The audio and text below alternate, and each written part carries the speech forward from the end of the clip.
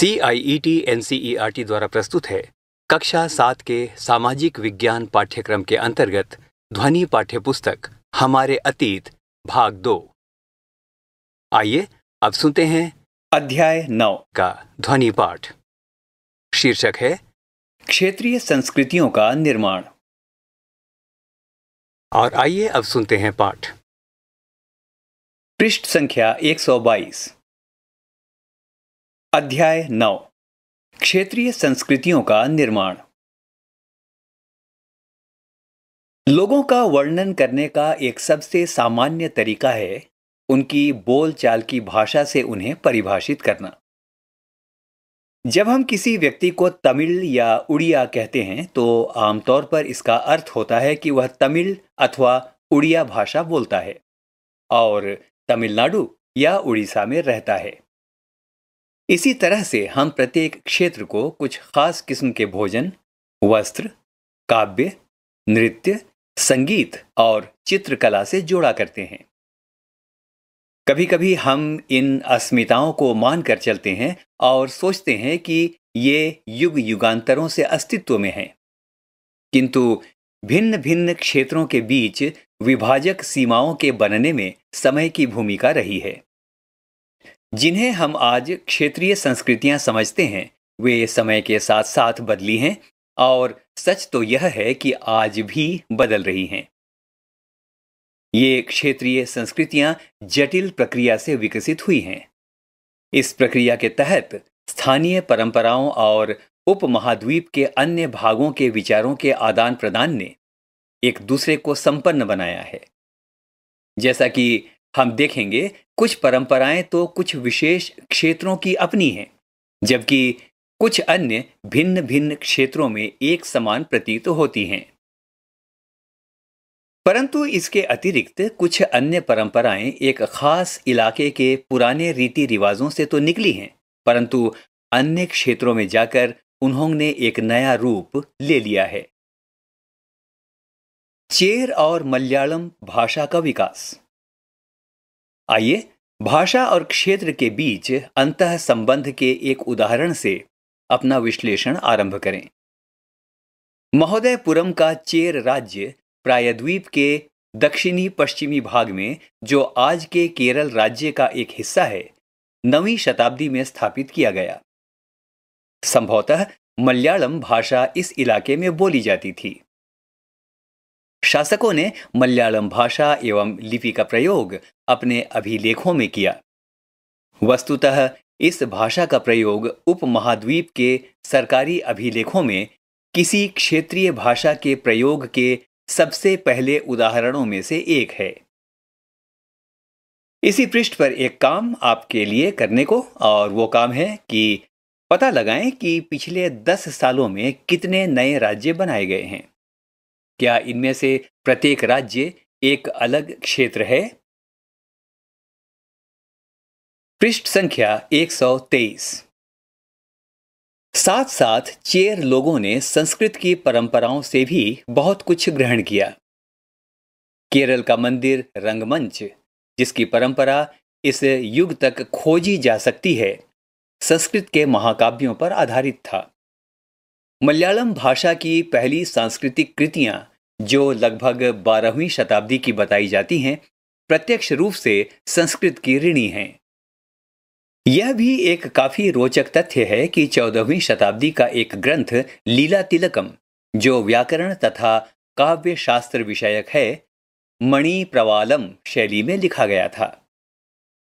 मणि प्रवालम का शाब्दिक अर्थ है हीरा और मूँगा, जो यहाँ दो भाषाओं, यानी संस्कृत तथा क्षेत्रीय भाषा के साथ साथ प्रयोग की ओर संकेत करता है। पाठ में चलने से पहले इसी पृष्ठ पर एक चित्र और यह है चित्र संख्या एक और यह चित्र है मलयालम में रचित आरंभिक केरल का एक अभिलेख। आपके लिए कुछ पता लगाने को और यहाँ पर आप पता लगाएँ कि आपके घर में आप जो भाषा या भाषाएँ बोलते हैं, उनका या उसका लेखन में सर्वप्रथम कब प्रयोग हुआ होगा? इसी पृष्ठ पर है चित्र संख्या दो, और चित्र संख्या दो में है बालभद्र, सुभद्रा और जगन्नाथ की लघु मूर्तियाँ। तालपत्र की पांडुलिपि, उड़ीसा। आइए, अब चलते हैं पाठ में। शासक और धार्मिक परंपराएँ। जगन्नाथी संप्रदाय। अन्य क्षेत्रों में क्षेत्रीय संस्कृतियाँ क्षेत्रीय धार्मिक परंपराओं से विकसित हुई थीं। इस प्रक्रिया का सर्वोत्तम उदाहरण है पुरी। उड़ीसा में जगन्नाथ का संप्रदाय। जगन्नाथ का शाब्दिक अर्थ है, दुनिया का मालिक, जो विष्णु का पर्यायवाची है। आज तक जगन्नाथ की काष्ठ प्रतिमा स्थानीय जनजातीय लोगों द्वारा बनाई जाती है, जिससे यह तात्पर्य निकलता है कि जगन्नाथ मूलतः एक स्थानीय देवता थे, जिन्हें आगे चलकर विष्णु का रूप मान लिया गया। बारहवीं शताब्दी में गंग वंश के एक अत्यंत प्रतापी राजा अनंत वर्मन ने पुरी में पुरुषोत्तम जगन्नाथ के लिए एक मंदिर बनवाने का निश्चय किया। इसके बाद 1230 में राजा अनंग भीम तृतीय ने अपना राज्य पुरुषोत्तम जगन्नाथ को अर्पित कर दिया और स्वयं को जगन्नाथ का प्रतिनियुक्त घोषित किया। पृष्ठ संख्या 124 इस पृष्ठ पर सबसे पहले एक चित्र, बाई ओर। चित्र संख्या तीन और ये जगन्नाथ मंदिर पुरी का चित्र है। अब आइए सुनते हैं पाठ। ज्यो ज्यो इस मंदिर को तीर्थ स्थल यानी तीर्थ यात्रा के केंद्र के रूप में महत्व प्राप्त होता गया, सामाजिक तथा राजनीतिक मामलों में भी उसकी सत्ता बढ़ती गई। जिन्होंने भी उड़ीसा को जीता, जैसे मुगल, मराठे और अंग्रेज़ी ईस्ट इंडिया कंपनी, सबने इस मंदिर पर अपना नियंत्रण स्थापित करने का प्रयत्न किया। वे सब यह महसूस करते थे कि मंदिर पर नियंत्रण प्राप्त करने से स्थानीय जनता में उनका शासन स्वीकार्य हो जाएगा। राजपूत और शूरवीरता की परंपराएँ। 19वीं शताब्दी में ब्रिटिश लोग उस क्षेत्र को जहाँ आज का अधिकांश राजस्थान स्थित है, राजपूताना कहते थे। इससे यह समझा जा सकता है कि वह एक ऐसा प्रदेश था जहाँ केवल अथवा प्रमुख रूप से राजपूत ही रहा करते थे। लेकिन यह बात आंशिक रूप से ही सत्य है।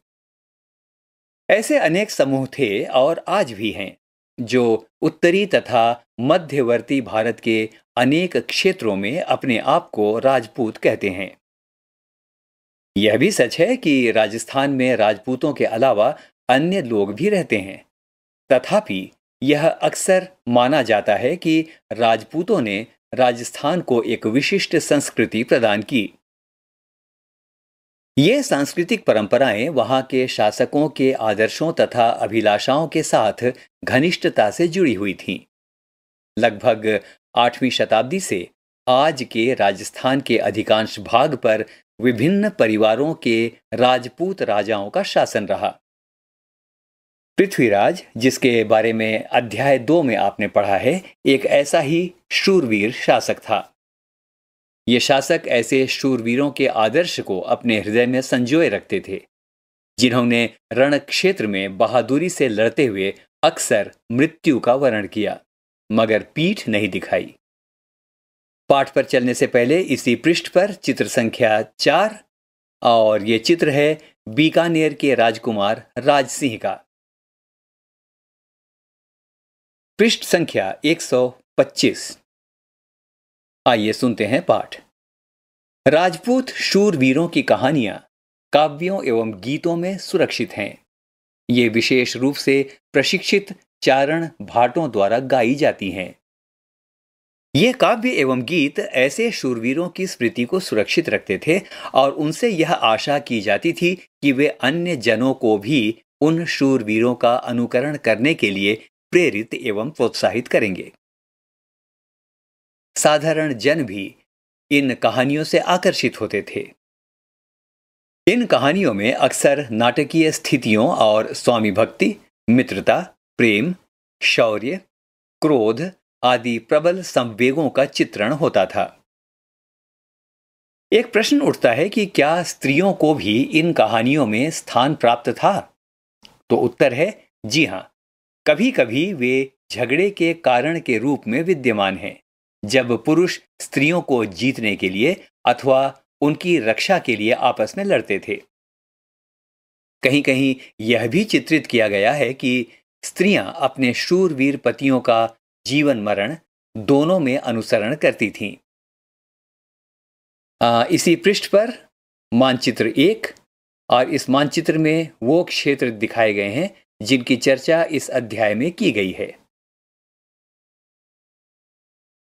पृष्ठ संख्या 126 सती प्रथा यानी विधवाओं द्वारा अपने मृतक पतियों की चिता पर ज़िंदा जल जाने की प्रथा का भी कुछ कहानियों में उल्लेख पाया जाता है। इस प्रकार जो लोग शूरवीरता के आदर्शों का पालन करते थे, उन्हें अक्सर इस आदर्श के लिए अपने जीवन का बलिदान करना होता था। आ, इसी पृष्ठ पर बाईं ओर एक बॉक्स और आपके लिए कुछ करने को है आपको पता लगाना है। तो पता लगाएँ कि क्या आपके नगर या गाँव में शूरवीरों या वीरांगनाओं की परंपरा रही है? यदि हाँ तो ये परंपराएँ राजपूतों के वीरतापूर्ण आदर्शों से कितनी समान या भिन्न हैं? अब सुनते हैं पाठ। क्षेत्रीय सीमांतों से परे। कथक नृत्य की कहानी। यदि शूरवीरता की परंपराएँ भिन्न भिन्न क्षेत्रों में भिन्न भिन्न रूपों में मिल सकती हैं तो नृत्य के विषय में भी यही सच है। आइए नृत्य के एक रूप, यानी कथक के इतिहास को देखें। यह नृत्य शैली उत्तर भारत के अनेक भागों से जुड़ी है। कथक शब्द कथा शब्द से निकला है। जिसका प्रयोग संस्कृत तथा अन्य भाषाओं में कहानी के लिए किया जाता है। कथक मूल रूप से उत्तर भारत के मंदिरों में कथा कहानी सुनाने वालों की एक जाति थी। ये कथाकार अपने हाव भाव तथा संगीत से अपने कथावाचन को अलंकृत किया करते थे। पंद्रहवीं तथा सोलहवीं शताब्दियों में भक्ति आंदोलन के प्रसार के साथ कथक एक विशिष्ट नृत्य शैली का रूप धारण करने लगा। राधा कृष्ण के पौराणिक आख्यान यानी कहानियाँ लोक नाट्य के रूप में प्रस्तुत किए जाते थे, जिन्हें रासलीला कहा जाता था। रासलीला में लोक नृत्य के साथ कथक कलाकार के मूल हाव भाव भी जुड़े होते थे। मुगल बादशाहों और उनके अभिजातों के शासनकाल में कथक नृत्य राज दरबार में प्रस्तुत किया जाता था, जहाँ इस नृत्य ने अपने वर्तमान अभिलक्षण अर्जित किए और वह एक विशिष्ट नृत्य शैली के रूप में विकसित हो गया। आगे चलकर यह दो परंपराओं अर्थात घरानों में फूला फला राजस्थान यानी जयपुर के राज दरबारों और लखनऊ में। अवध के अंतिम नवाब वाजिद अली शाह के संरक्षण में यह एक प्रमुख कला के रूप में उभरा। 1850 से 1875 के दौरान यह नृत्य शैली के रूप में इन दो क्षेत्रों में ही नहीं, बल्कि आज के पंजाब, हरियाणा, जम्मू और कश्मीर, बिहार तथा मध्य प्रदेश के निकटवर्ती इलाकों में भी पक्के तौर पर संस्थापित हो गया। इसी पृष्ठ पर एक चित्र, और यह है चित्र संख्या पाँच, इसका शीर्षक है, नृत्य की कक्षा, लक्ष्मण मंदिर, खजुराहो। पृष्ठ संख्या 127 इसकी प्रस्तुति में क्लिष्ट तथा द्रुत पद संचालन, उत्तम वेशभूषा तथा कहानियों के प्रस्तुतिकरण एवं अभिनय पर ज़ोर दिया जाने लगा।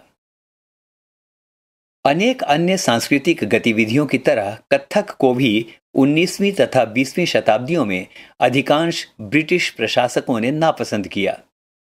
फिर भी यह जीवित बचा रहा और गणिकाओं द्वारा पेश किया जाता रहा। स्वतंत्रता प्राप्ति के बाद तो देश में इसे छह शास्त्रीय नृत्य रूपों में मान्यता मिल गई। और अब एक बॉक्स और बॉक्स का शीर्षक है शास्त्रीय नृत्य। इसमें एक चित्र दिया गया है। यह है चित्र संख्या छ जिसमें कथक नृत्यांगनाओं को दिखाया गया है, जो एक दरबार में नृत्य कर रही हैं। अब आइए सुनते हैं बॉक्स में वर्णित वृतांत। शीर्षक है शास्त्रीय नृत्य। किस कला रूप को शास्त्रीय माना जाए? इस प्रश्न का उत्तर देना अक्सर बहुत कठिन होता है। क्या हम उस रूप या शैली को शास्त्रीय कहते हैं, जिसका विषय धार्मिक हो? अथवा क्या हम उसे शास्त्रीय इसीलिए मानते हैं क्योंकि उसके लिए अत्यधिक कौशल की आवश्यकता होती है, जो कई वर्षों के लंबे प्रशिक्षण से ही प्राप्त होता है? अथवा यह शास्त्रीय इसलिए है क्योंकि यह निर्धारित नियमों के अनुसार ही प्रदर्शित या प्रस्तुत किया जाता है और उसमें विभिन्नताओं को प्रोत्साहन नहीं दिया जाता है। ये ऐसे प्रश्न हैं जिन पर हमें विचार करने की आवश्यकता है। यह भी स्मरणीय है कि बहुत से ऐसे नृत्य रूपों में, जिन्हें लोक नृत्य की श्रेणी में रखा गया है, वे विशिष्टताएँ पाई जाती हैं, जिन्हें शास्त्रीय रूपों का विशिष्ट लक्षण बताया जाता है। यद्यपि शास्त्रीय विशेषण का प्रयोग उन कला रूपों की श्रेष्ठता का सूचक हो सकता है, फिर भी यह हमेशा शब्दशः सही नहीं होता है। अन्य नृत्य रूप जिन्हें इस समय शास्त्रीय माना जाता है, इस प्रकार से हैं। भरतनाट्यम, ये तमिलनाडु का है। कथाकली, ये केरल का नृत्य है। ओडिसी, जो उड़ीसा का नृत्य है। कुचिपुड़ी ये आंध्र प्रदेश का नृत्य है और मणिपुरी, जो मणिपुर का नृत्य है। एक प्रश्न आपके लिए इस बॉक्स के अंत में, और वो प्रश्न है, इनमें से किसी एक नृत्य रूप के बारे में अधिक जानकारी प्राप्त करें। पृष्ठ संख्या 128 पाठ में चलते हैं। संरक्षकों के लिए चित्रकला। लघु चित्रों की परंपरा। एक अन्य परंपरा जो कई रीतियों से विकसित हुई, वह थी लघु चित्रों की परंपरा। लघु चित्र जैसा कि उनके नाम से पता चलता है, छोटे आकार के चित्र होते हैं, जिन्हें आमतौर पर जल रंगों से कपड़े या कागज़ पर चित्रित किया जाता है। प्राचीनतम लघु चित्र तालपत्रों अथवा लकड़ी की तख्तियों पर चित्रित किए गए थे।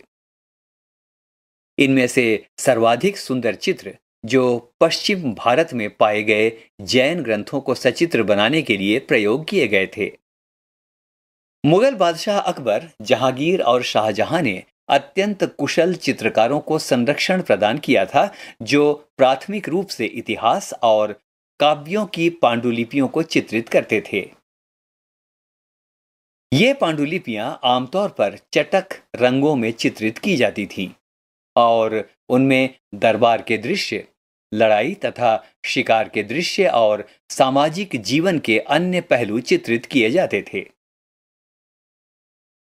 अक्सर उपहार के तौर पर भी इन चित्रों का आदान प्रदान किया जाता था, और ये कुछ गिने चुने लोगों, यानी बादशाह और उसके घनिष्ठ जनों द्वारा ही देखे जा सकते थे।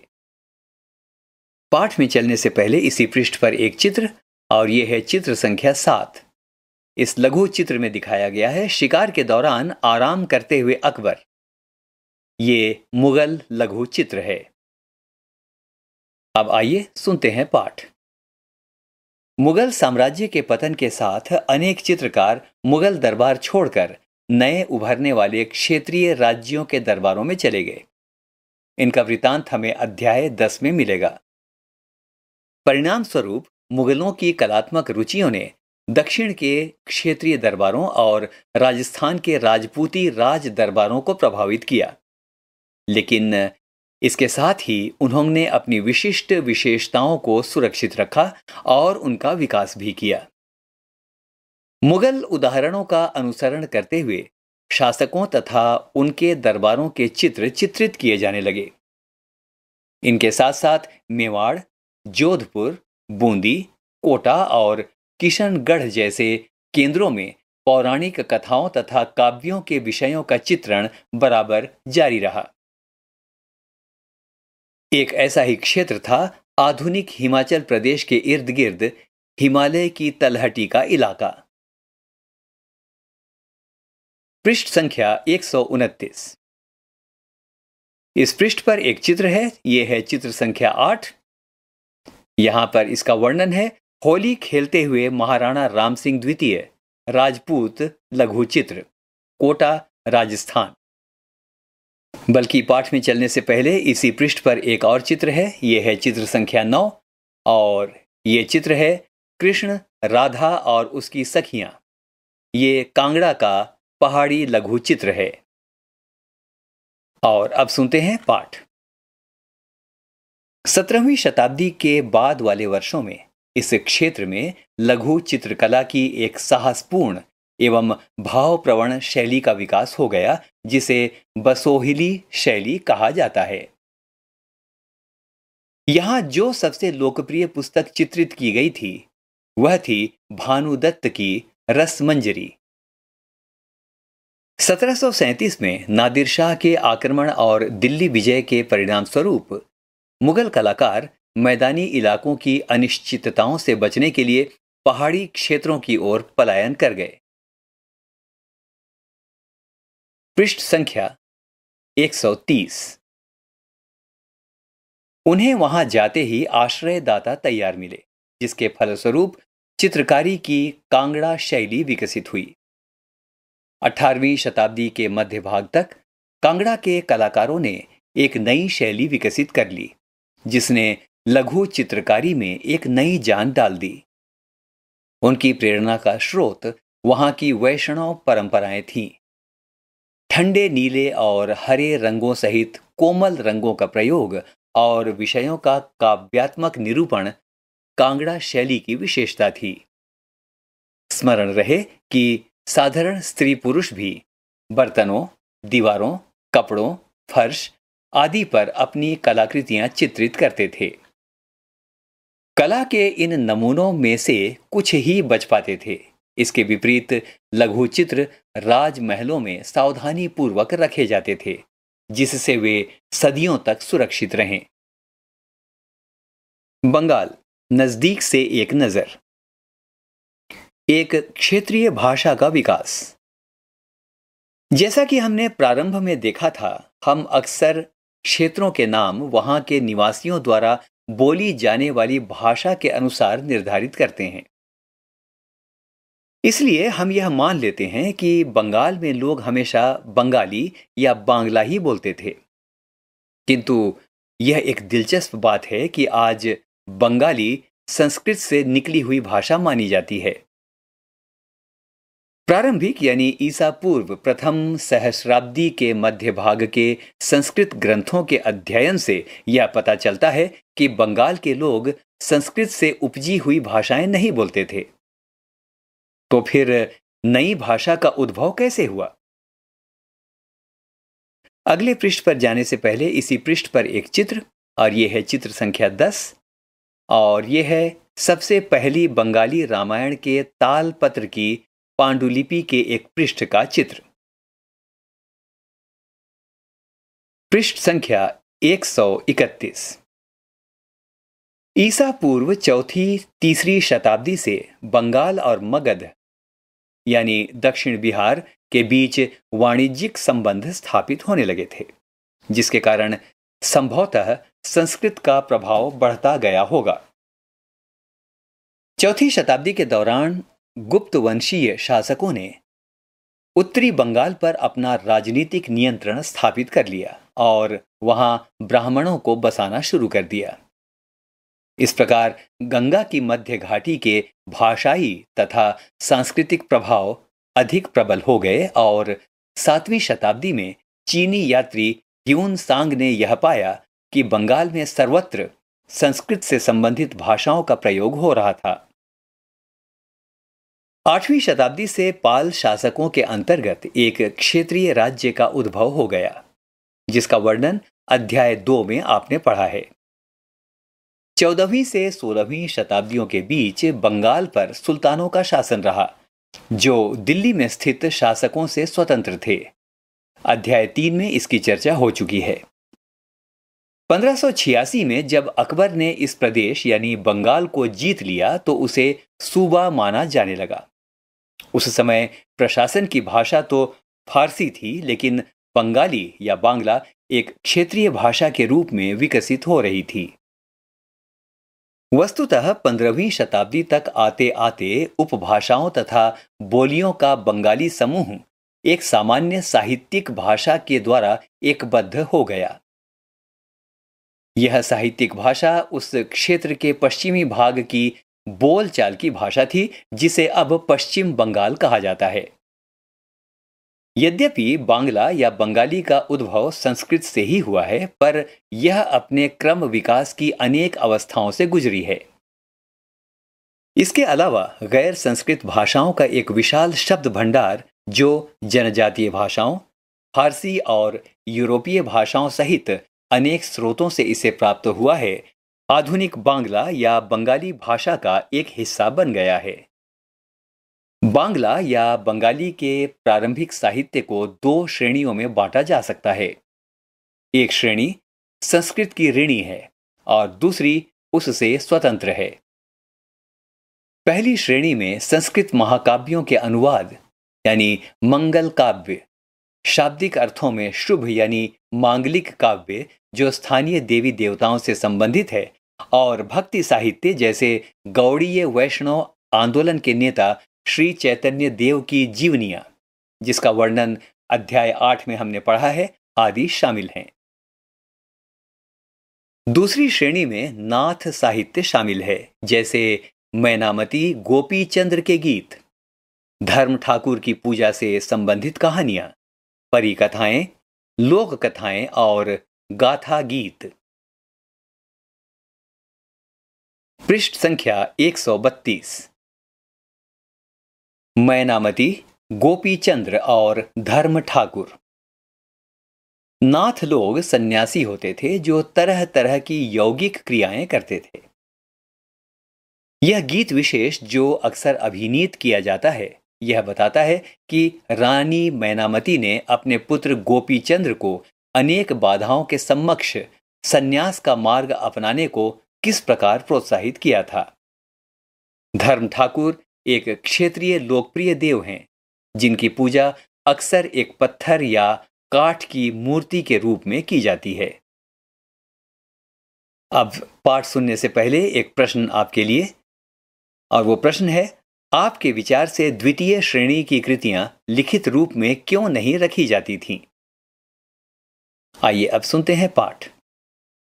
पहली श्रेणी के ग्रंथों का काल निर्णय करना अपेक्षाकृत सरल है क्योंकि ऐसी अनेक पांडुलिपियाँ पाई गई हैं जिनमें यह इंगित किया गया है कि उनकी रचना पंद्रहवीं शताब्दी के उत्तरार्ध और अठारहवीं शताब्दी के मध्य भाग के बीच में की गई थी। दूसरी श्रेणी की कृतियाँ मौखिक रूप से कहीं सुनी जाती थीं, इसलिए उनका काल निर्णय सही सही नहीं किया जा सकता है। वे खासतौर पर पूर्वी बंगाल में लोकप्रिय थीं, जहाँ ब्राह्मणों का प्रभाव अपेक्षाकृत कम था। आगे के पाठ से पहले आइए एक शब्द पर विचार करें। वो शब्द है पीर। पीर एक फारसी भाषा का शब्द है जिसका अर्थ है आध्यात्मिक मार्गदर्शक। आइए सुनते हैं पाठ। पीर और मंदिर। सोलहवीं शताब्दी से लोगों ने बड़ी संख्या में पश्चिम बंगाल के कम उपजाऊ क्षेत्रों को छोड़कर दक्षिण पूर्वी बंगाल के जंगली तथा दलदली इलाकों में प्रवास करना शुरू कर दिया था। ज्यो ज्यो वे पूर्व की ओर बढ़ते गए, वे जंगलों को साफ़ करके भूमि में धान की खेती करने लगे। शनय शनय स्थानीय मछुआ तथा स्थानांतरीय खेती करने वाले लोग, जो अक्सर जनजातीय थे, किसानों के नए समुदाय में मिल गए। इन्हीं दिनों बंगाल पर मुगलों का नियंत्रण स्थापित हो गया था, जिन्होंने पूर्वी डेल्टा प्रदेश के केंद्रीय भाग में स्थित ढाका नगर में अपनी राजधानी स्थापित की। अधिकारी और कर्मचारी लोग भूमि प्राप्त करके अक्सर उस पर मस्जिदें बना लेते थे, जो इन इलाकों के धार्मिक रूपांतरण के केंद्रों के रूप में काम आती थीं। प्रारंभ में बाहर से आकर यहाँ बसने वाले लोग इन अस्थिर परिस्थितियों में रहने के लिए कुछ व्यवस्था तथा आश्वासन चाहते थे।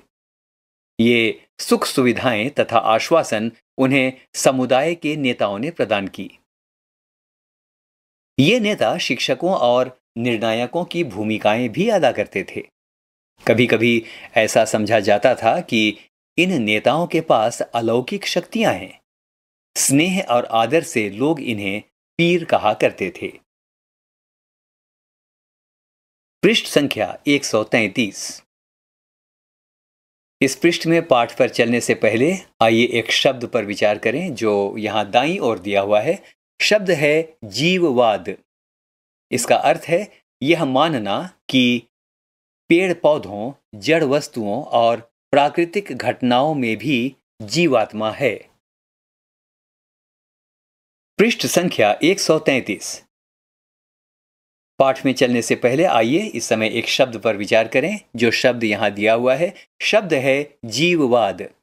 जीववाद का अर्थ है यह मानना कि पेड़ पौधों, जड़ वस्तुओं और प्राकृतिक घटनाओं में भी जीवात्मा है।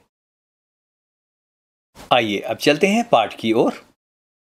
इस पीर श्रेणी में संत या सूफी और अन्य धार्मिक महानुभाव, साहसी उपनिवेशी देवत्व प्राप्त सैनिक एवं योद्धा, विभिन्न हिंदू एवं बौद्ध देवी देवता और यहाँ तक कि जीवात्माएँ भी शामिल थे।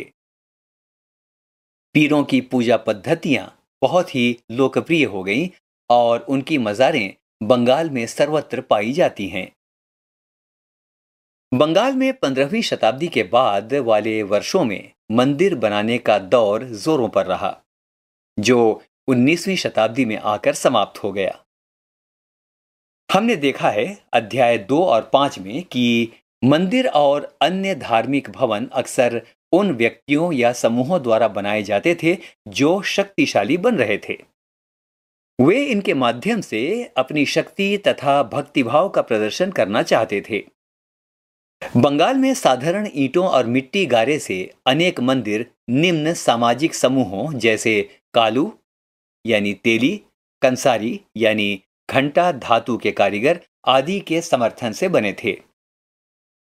यूरोप की व्यापारिक कंपनियों के आ जाने से नए आर्थिक अवसर पैदा हुए। इन सामाजिक समूहों से संबंधित अनेक परिवारों ने इन अवसरों का लाभ उठाया। जैसे जैसे लोगों की सामाजिक तथा आर्थिक स्थिति सुधरती गई, उन्होंने इन स्मारकों के निर्माण के माध्यम से अपनी प्रस्थिति या प्रतिष्ठा की घोषणा कर दी।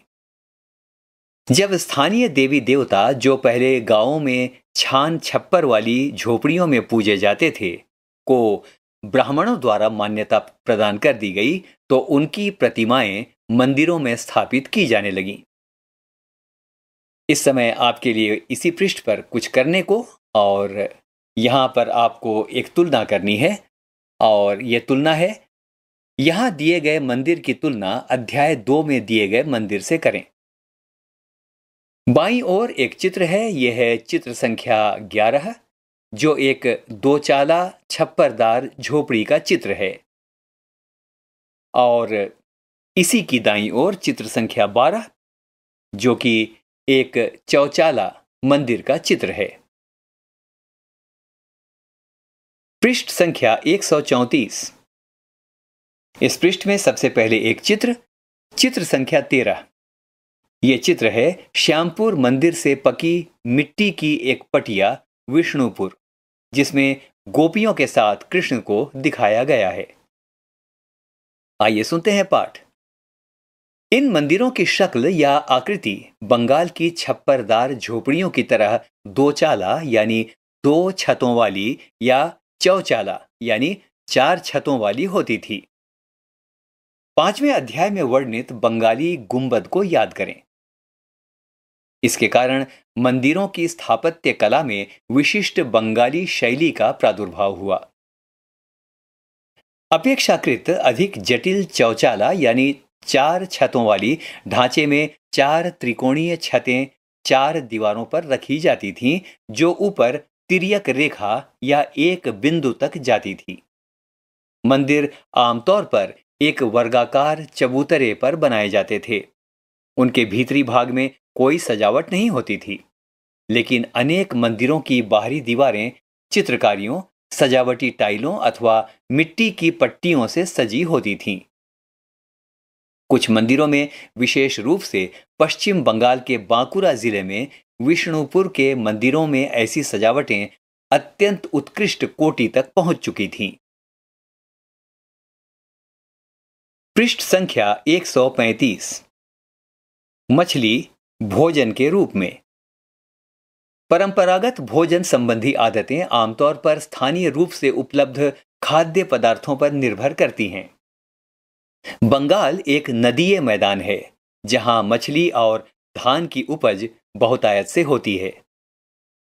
इसलिए यह स्वाभाविक है कि इन दोनों वस्तुओं को गरीब बंगालियों की भोजन सूची में भी प्रमुख स्थान प्राप्त है। मछली पकड़ना यहाँ का मुख्य धंधा रहा है। और बंगाली साहित्य में मछली का स्थान स्थान पर उल्लेख मिलता है। इससे ज़्यादा और क्या होगा कि मंदिरों और बौद्ध बिहारों की दीवारों पर जो मिट्टी की पट्टियाँ लगी हैं उनमें भी मछलियों को साफ़ करते हुए और टोकरियों में भरकर बाज़ार ले जाते हुए दर्शाया गया है। आ, इसी पृष्ठ पर आ, आगे पाठ पर चलने से पहले एक चित्र देखते हैं और ये चित्र है चित्र संख्या चौदह। और ये चित्र है घरेलू उपयोग के लिए मछली तैयार करते हुए। विशाल लक्ष्मी मंदिर से पकी मिट्टी का एक फलक, आराम बाग। अब सुनते हैं पाठ। ब्राह्मणों को सामिश भोजन करने की अनुमति नहीं थी, लेकिन स्थानीय आहार में मछली की लोकप्रियता को देखते हुए ब्राह्मण धर्म के विशेषज्ञों ने बंगाली ब्राह्मणों के लिए इस निषेध में ढील दे दी। बृहद धर्म पुराण जो बंगाल में रचित तेरहवीं शताब्दी का संस्कृत ग्रंथ है, ने स्थानीय ब्राह्मणों को कुछ खास किस्म की मछली खाने की अनुमति दे दी। इसी पृष्ठ पर एक बॉक्स और इसका शीर्षक है, यूरोप में राष्ट्र राज्यों का उदय। आइए सुनते हैं। 18वीं शताब्दी के अंत तक यूरोप के लोग स्वयं को एक साम्राज्य जैसे ऑस्ट्रिया, हंगरी साम्राज्य की प्रजा तथा किसी चर्च जैसे यूनानी रूढ़ीवादी चर्च के सदस्य मानते थे।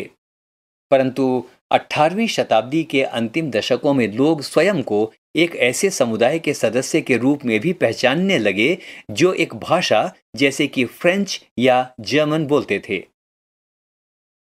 प्रारंभिक 19वीं शताब्दी में रोमानिया में विद्यालयी पाठ्यपुस्तकें ग्रीक के स्थान पर रोमानियन में लिखी जाने लगीं और हंगरी में लैटिन के स्थान पर हंगेरियन को राजभाषा के रूप में अपनाया गया। यह और इसी प्रकार की अन्य प्रक्रियाओं ने लोगों को यह बोध कराया कि प्रत्येक भाषी समुदाय एक अलग राष्ट्र था। 19वीं शताब्दी के अंतिम दशकों में इटली और जर्मनी के एकीकरण के लिए हुए आंदोलन ने इस भावना को और अधिक बल दिया। पृष्ठ संख्या 136 सबसे पहले कुछ बीज शब्द। बीज शब्दों से तात्पर्य है वो शब्द जिनका प्रयोग इस अध्याय में किया गया है। तो ये इस पृष्ठ पर बाईं ओर दिया हुआ है। आइए सुनते हैं बीज शब्द। बीज शब्द हैं शास्त्रीय, लघु चित्र, पीर और बोली। कल्पना करें, आप एक राजपूत राजकुमार हैं। आप अपनी कहानी किस प्रकार सुनाना पसंद करेंगे? फिर से याद करें। एक, इन दो स्तंभों में मेल बिठाएँ। साथियों, यहाँ पर दो स्तंभ दिए हुए हैं और दोनों स्तंभों में अलग अलग शब्द हैं। आपको दोनों स्तंभों में दिए गए शब्दों के बीच में मेल कराना है। आइए सुनते हैं सबसे पहले स्तंभ एक या कॉलम वन। अनंत वर्मन। जगन्नाथ। महोदयपुरम। लीला तिलकम मंगल काव्य लघु चित्र अब सुनते हैं कॉलम टू या स्तंभ दो। केरल, बंगाल, उड़ीसा, कांगड़ा, पुरी, केरल। दो। मणि प्रवालम क्या है? इस भाषा में लिखी पुस्तक का नाम बताएँ। तीन। कत्थक के प्रमुख संरक्षक कौन थे? चार। बंगाल के मंदिरों की स्थापत्य कला के महत्वपूर्ण लक्षण क्या हैं? पृष्ठ संख्या एक आइए विचार करें। पाँच। चारण भाटों ने शूरवीरों की उपलब्धियों की उद्घोषणा क्यों की? छ।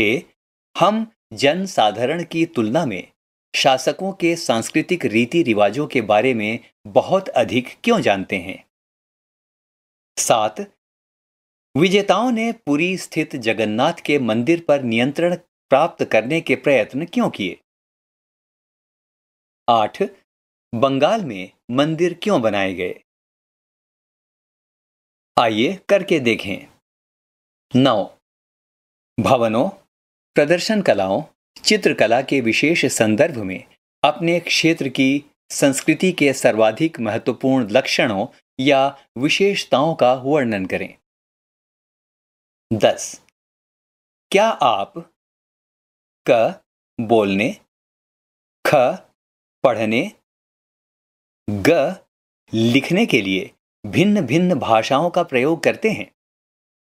इनमें से किसी एक भाषा की किसी प्रमुख रचना के बारे में पता लगाएँ और चर्चा करें कि आप इसे रोचक क्यों पाते हैं।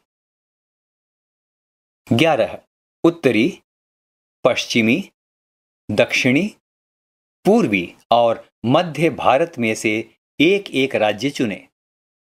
इनमें से प्रत्येक के बारे में उन भोजनों की सूची बनाएँ, जो आमतौर पर सभी के द्वारा खाए जाते हैं। आप उनमें यदि कोई अंतर या समानताएँ पाएँ तो उन पर प्रकाश डालें। बारह। इनमें से प्रत्येक क्षेत्र से पाँच पाँच राज्यों की एक एक अन्य सूची बनाएँ और यह बताएँ कि प्रत्येक राज्य में महिलाओं तथा पुरुषों द्वारा आमतौर पर कौन से वस्त्र पहने जाते हैं? अपने निष्कर्षों पर चर्चा करें। यहाँ अध्याय नौ समाप्त हुआ।